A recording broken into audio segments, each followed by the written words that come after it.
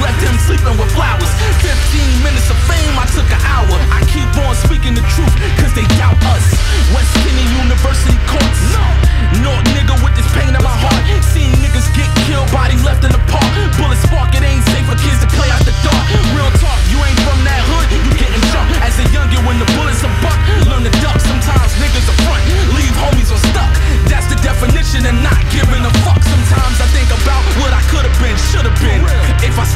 streets with the demons within.